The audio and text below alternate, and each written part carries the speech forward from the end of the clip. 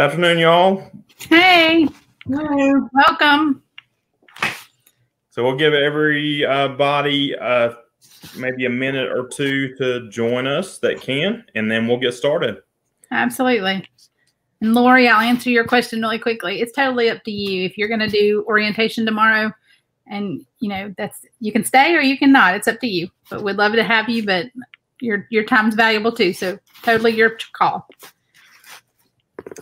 Hope everybody's first couple of days of school uh, in this new era of school, back to school, has been great so far.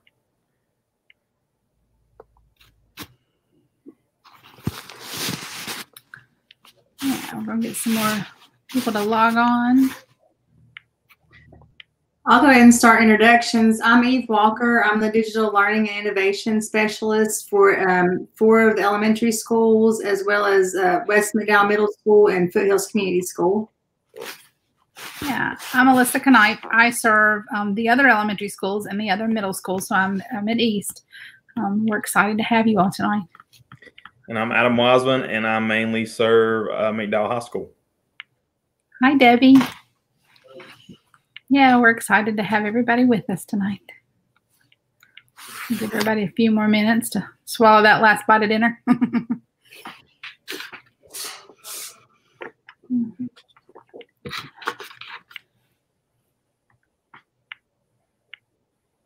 Hey, Miss Sandra. Good to see you.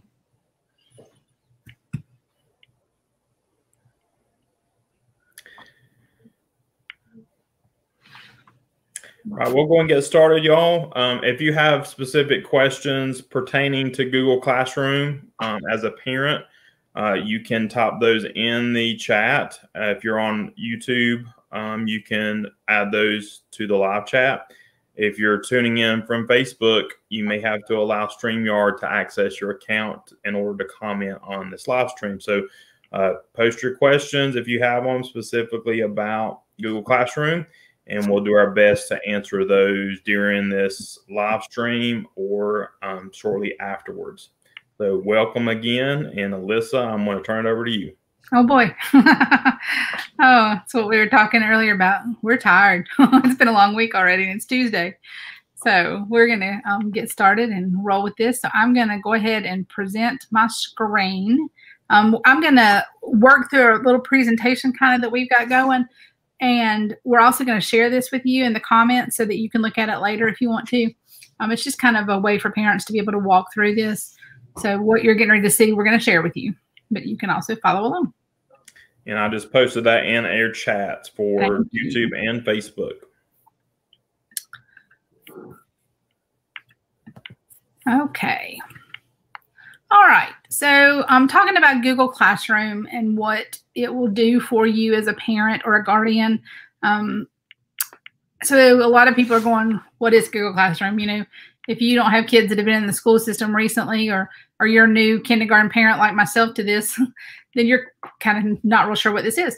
Um, so think about Google Classroom as your child's digital link to learning in their classroom. It's the way that you can link – their classroom in the building to their classroom at home. Um, teachers are going to use Google Classroom to share assignments, to share homework, newsletters, um, and much more with you. This is an easy way for them also to share links with the students. If there's a particular website they're wanting them to get to, they may share that on there as well, just to make it a little bit simpler. Um, but you'll often see this referred to as an LMS, which stands for a Learning Management System. Um, I know I'm guilty of using acronyms a lot for things. And um, as, as, a parent, if you're not in the education world, you don't know what we're talking about. So um, we try to explain things to you as, as, best we can. So LMS will be a learning management system. If you have a child that's at the middle school or the high school, their LMS is Canvas. So it's a little um, two separate ones this year. Google Classroom, I think you'll find it easy for elementary. So the big question is, well, how do we get there? Um, Google Chrome will be the browser of choice for this. So, you know, you have like Internet Explorer, you might have Safari or Firefox, depending on your device. Um, but Google Chrome is what we're going to ask you to use. That obviously is what all the Chromebooks are um, have as their browser. But if you're using a different device at home, then, then you're going to want to download that as a browser.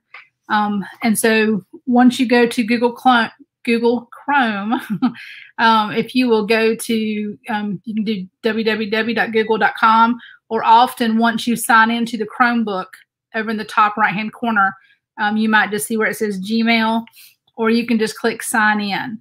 Um, once they sign into that, um, the Chromebook, then that kind of gets them in there. But your child either has already been provided with a secure login and password, or they will be. It depends on when you're there for orientation, or if um, this is not new to you. If they've done this before, then you already have that. So your the teacher will provide you with that information. Um, we'll provide you an email address in a little while that if you ever forget it or lose it, shoot us an email and we'll be able to help you. Okay. So once you're into the actual um, Google Chrome browser, you're going to notice that in the corner you have something that's it's nine little squares, and we call those the Google apps. Um, I said we refer to it as the waffle. Um, I have been guilty of calling it the Rubik's cube, and kids had no clue what I was talking about. Um, Rubik's cube's coming back around, so they're they're getting a little more familiar with that. But um, those nine squares will be their Google apps when you click there, you're going to notice there's a lot of little icons that pop up. All of those things are things that the students will have accounts for based on that email address. So they do have a Gmail account. Um, they do have a Google Calendar. They do have the Google Drive. And this is what houses all of these other things. So if they do something in Google Docs, it's housed in Drive. If they do something in Slides, it's housed in Drive, that kind of thing. So Google Drive, the triangle, um, is where everything is kind of housed under. Okay, and so a lot of things that they do on the Chromebook um, is saved in their Google Drive automatically. And so you'll notice that when they're working on something, it'll say changes saved automatically or changes saved two seconds ago. That's the the big benefit of a Google product.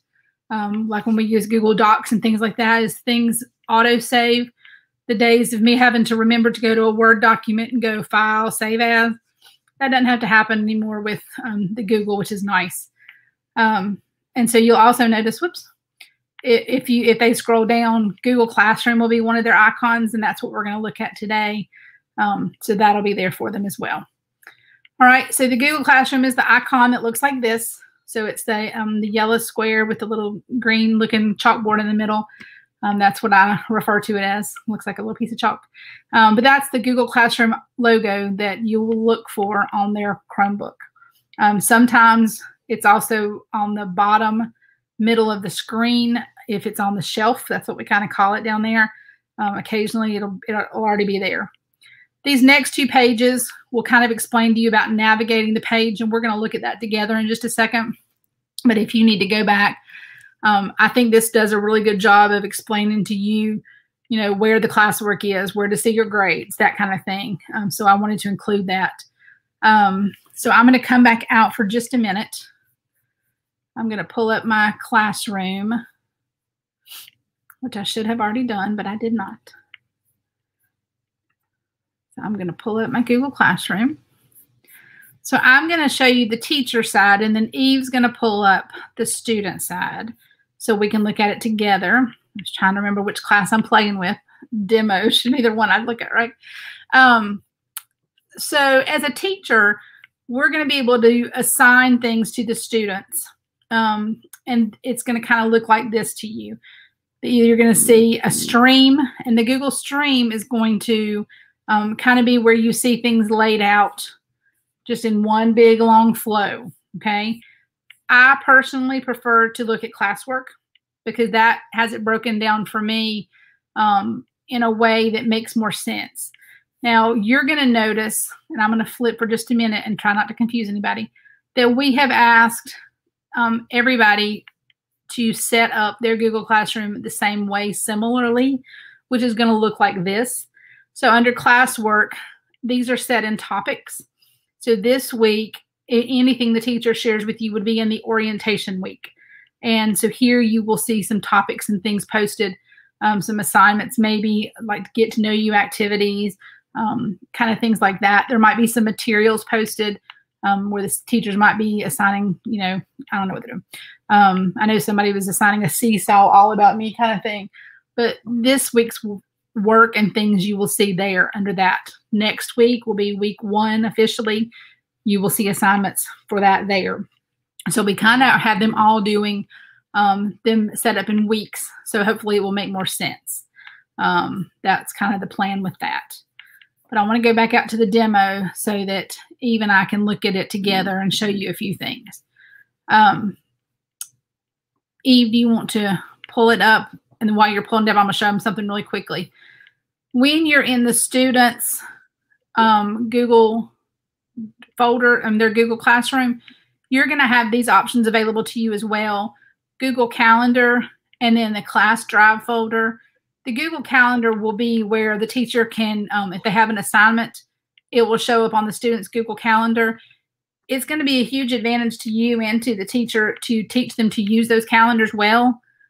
Um, so if I pull this up, I'm going to uncheck this one. So there's just one showing up.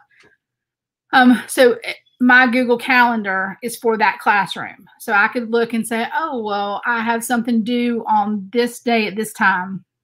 I have something due on this day at this time. Um, and, and so you can click on it and look. A lot of teachers are using this as the link to their Google Meets where they're doing the online classes. So like at nine o'clock, I would know it's math class. I can click here on the calendar. I can click join with Google Meet and I will be live with their class right now. Um, so a lot of teachers are using it that way. Um, so that comes in handy. The Google Drive folder would be, will take you to class resources if the teacher's storing some things in there as well. Um, and I don't, there's nothing in this one yet. Well, there's a couple templates. Um, all right. So Eve, do you want to pull up the student one? I'll stop sharing. Sure. And I'll be quiet.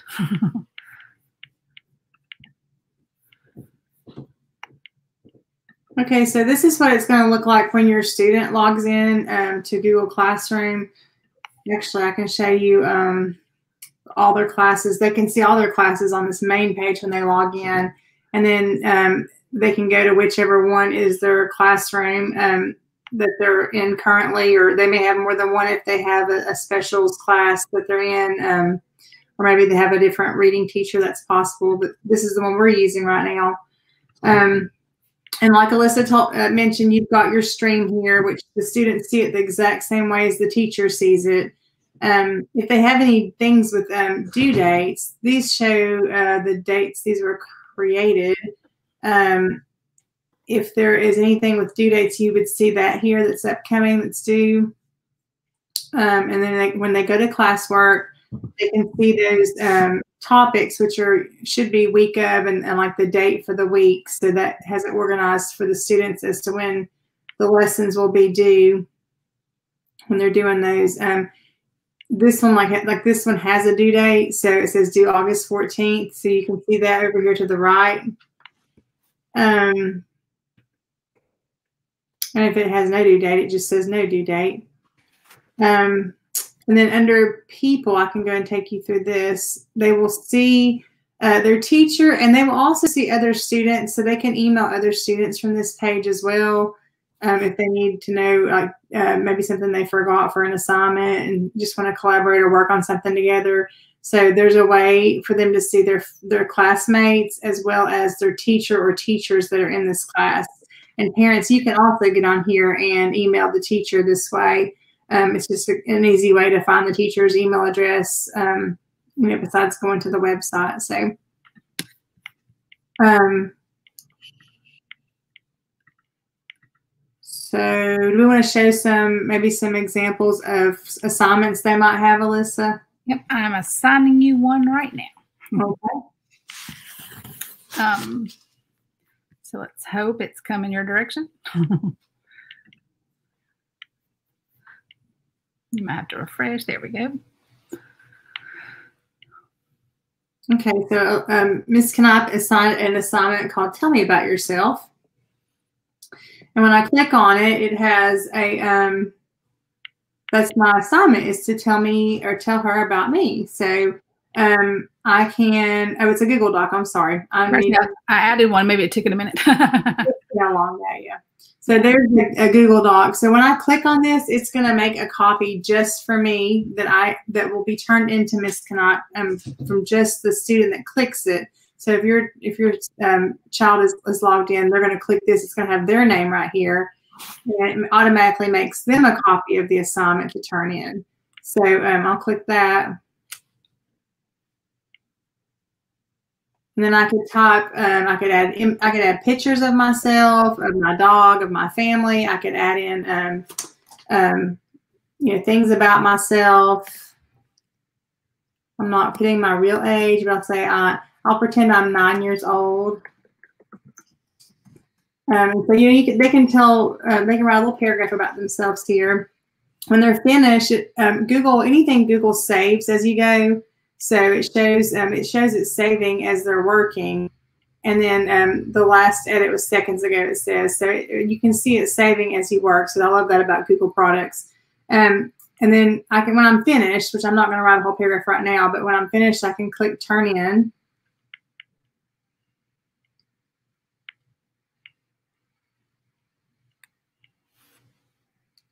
So it says turn in your work. One attachment will be submitted for tell me about yourself, her assignment. And there's my name on it, and that's that's what I'm turning in. So it just gives you a little chance to see that um, your student, they can see that they've done it correctly, and then they just click turn in. And their teacher is going to have that now. So that is a nice feature about Google Classroom and all those Google apps. Um, the teacher can assign a Google slide that the student fills out which is basically like a PowerPoint presentation. Um, they can assign a blank document like that or a graphic organizer that the students fill in. Um, so there's there's several ways you can use that. They even have quizzes they can do in Google Forms, so that's really handy. Um, and then you know just turn it in like it where it where it asks on the button there, and then you can unsubmit. Like if you realize you don't think they did it correctly or they don't think they did something right, they can unsubmit usually and go back and correct something. Um, these comment areas, these are for class comments. Um, the teacher or the students could add comments here um, where everybody can see. So if they have a question about the assignment, they can ask right here. Um, Over here on the right is private comments. Now on the right side, the private comments are just for that student and that teacher to, to use. So um, like Miss Knipe said, great job, you check your spelling. So I messed up It's really fine. You did not. so we're, we're, we're going to say I messed up on my spelling and I'll say, okay, thanks. Please, please check now, whatever you want to say. And then when I send that, she's just going to see my comment. No other students can see these in private comments. So that's the neat little thing. Um, again, if you're if you have a younger child in element, elementary and um, you're helping them with Google Classroom, then this would be a great place to ask the teacher about assignments as a parent, even um, on behalf of your child. So there's great communication tools here. Um, really easy to turn in their work. Um, so it just makes it really um, really user friendly. And here's the due date as well on these. So when you see, uh, when you open up your assignments, you're going to see a due date right here too. So I'll go back to the main page again for this particular class. And what else, Miss Miss Alyssa? What else should we share with them? Um, let me go back to the presentation for just a minute because I'm going to talk about the parent, the parent and the guardian summaries. Okay. So I'm going to share again if that's all right. So if you will unshare, I will share.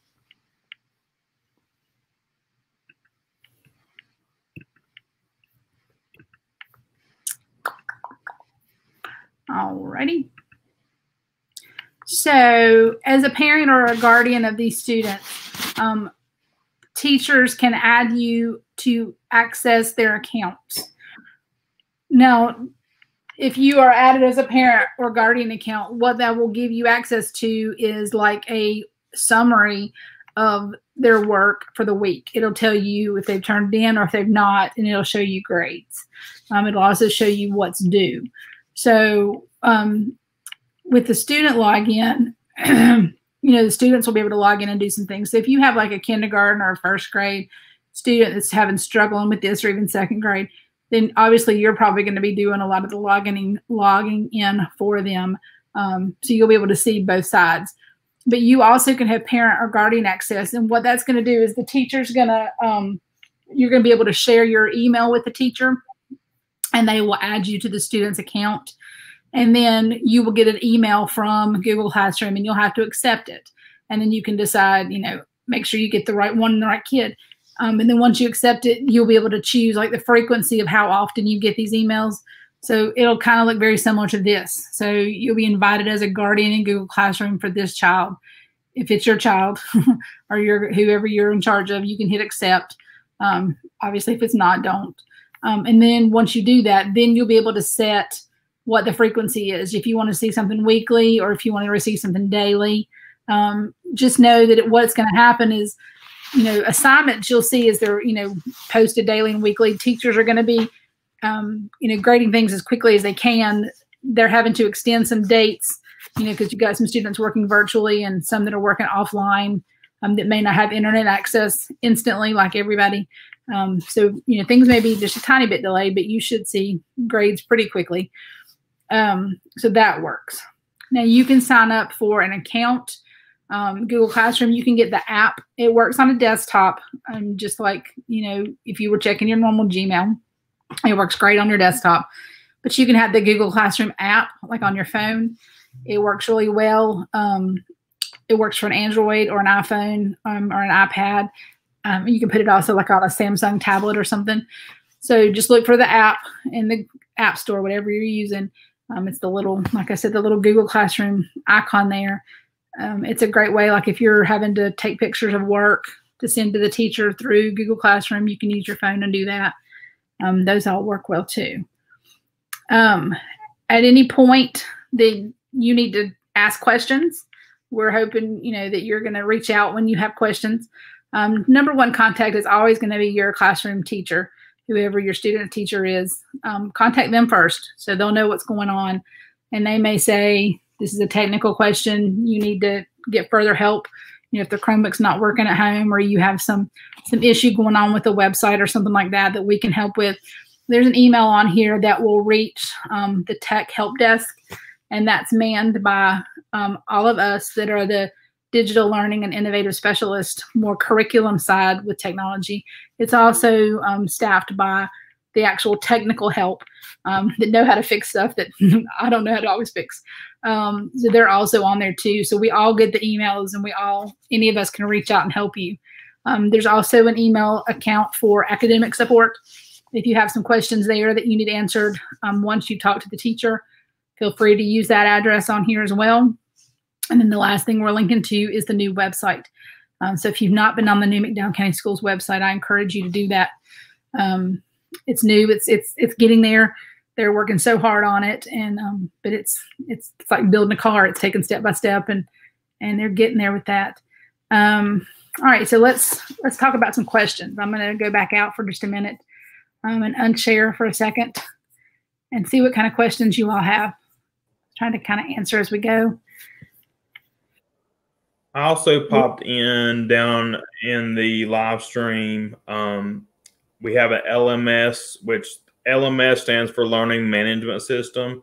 Um, so we have that link. We've set up a support page that has some documents on both of our learning management systems for McDowell County Schools. So that's another great resource that you may want to check first. Um, and then if you still having issues or you can't figure something out, then you can reach out to us through other methods. But um, we did set that up to uh, to offer as a first um, first resource that you can go to to find um, all the information that we're talking about tonight about Google Classroom, as well as if you have a middle school or high school student, we have some uh, Canvas support materials on there. Right. The other thing we've shared for you in the chat, and I'm going to show you really quickly, um, is the um, McDowell County Schools family expectations for remote learning. It, things are different this year. Um, and so we've kind of walked through this with you explaining um, some expectations we have with for for families um, and expectations you have for us um, as far as devices and attendance. So a lot of questions you may have will be answered here. Um, you can go through here and read, and then once you get toward the bottom, not reading this to you. Um, if you'll fill this out for us, what this will do is it, um, it will allow us to send this information saying you have filled this out to your student's school. Um, and so instead of filling out a lot of papers this year, we're trying to streamline that process just a little bit um, so that you can do that. So if you'll fill that out for us, if you've not, we're up to about 800 right now, so we're doing good. Um, but go ahead and fill that out. It's one per student. Okay, what other questions do you have?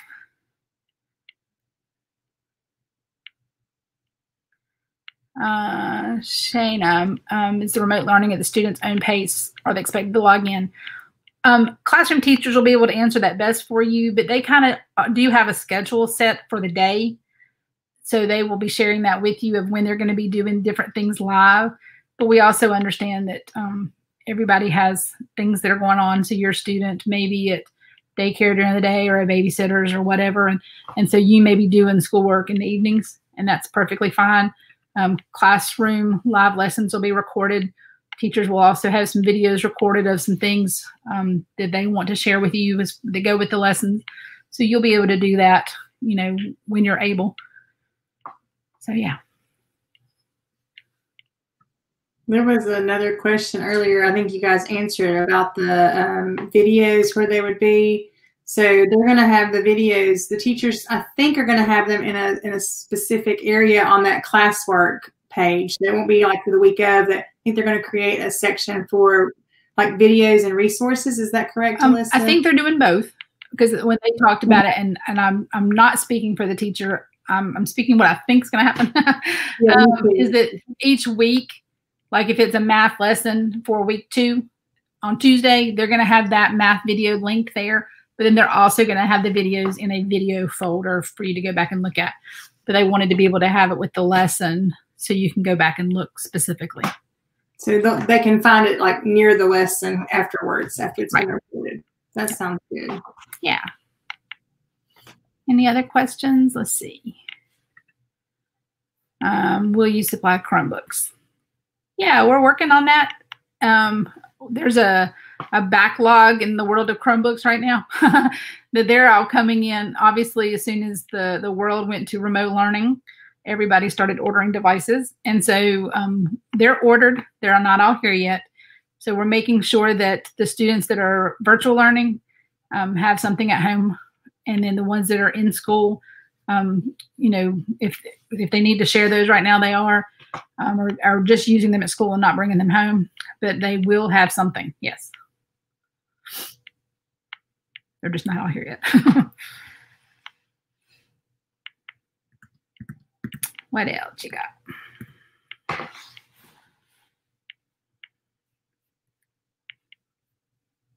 We won't keep you too long. I know you probably want dinner.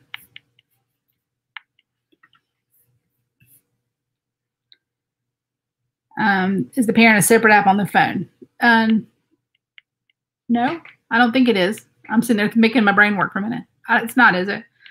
The other two, you're sitting there going, to answer me. Yeah.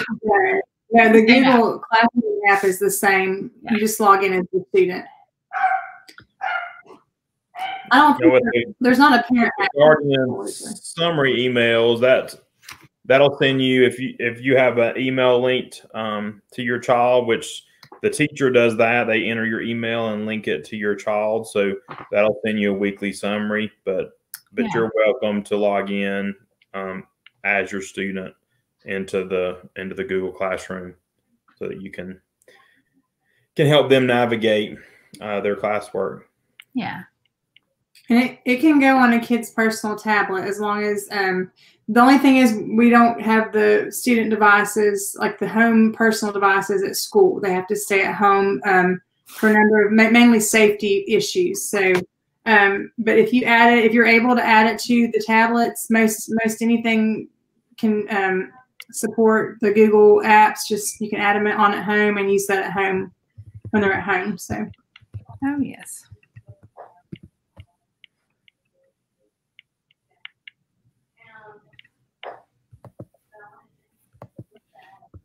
We appreciate all of you joining us tonight. And uh, if you have more questions, you are welcome to email us at any either one of those emails in the presentation that Alyssa shared with you. Yeah. Uh, we will be glad to quickly, usually within within a day, you know, in a few hours, one of us will respond. So Right.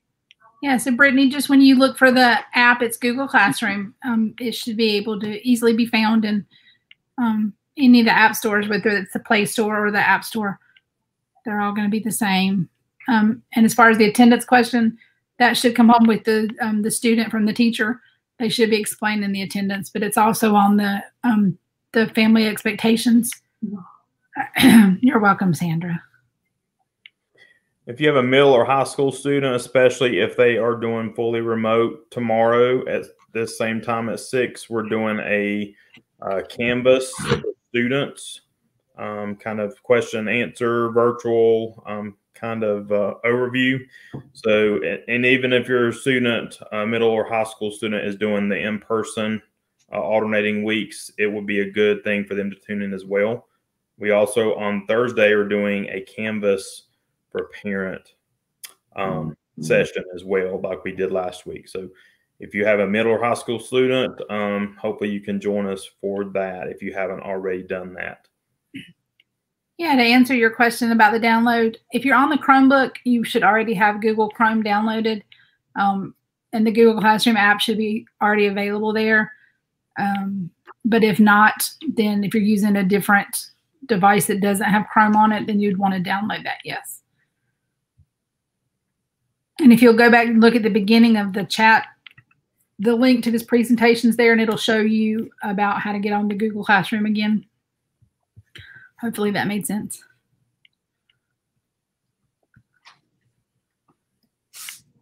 Is Everybody good? Y'all been a nice audience tonight. yeah. We appreciate it.